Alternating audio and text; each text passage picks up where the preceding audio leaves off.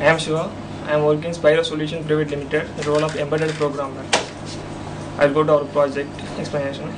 The project title is Design and Implementation of the Lab Remote Monitoring System based on embedded web technologies. The main objective of this project automatically monitoring the laboratories using web application web application technologies. Okay, the existing system. Previously, the manual power is required to monitoring the laboratories. In this system, most of manual errors are not con- continually monitoring the laboratories. Are disadvantages of these one systems. So go to proposal system.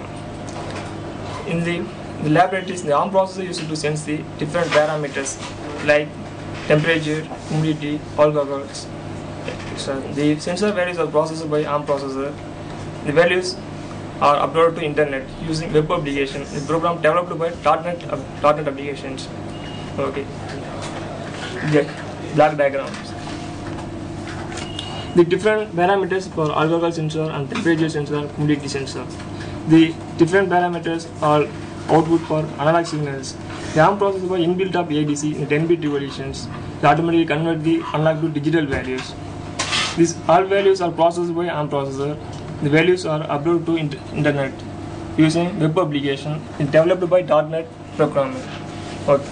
This these all parameter values are in abnormal status of that one parameter those one values. In abnormal status means automatically that one information also will be sent the owner mobile using through GSM technologies. Okay, the CCTV camera also update for every capture the images. CCTV cameras used to capture the all images or upload to internet through web applications. So that's it. So thank you.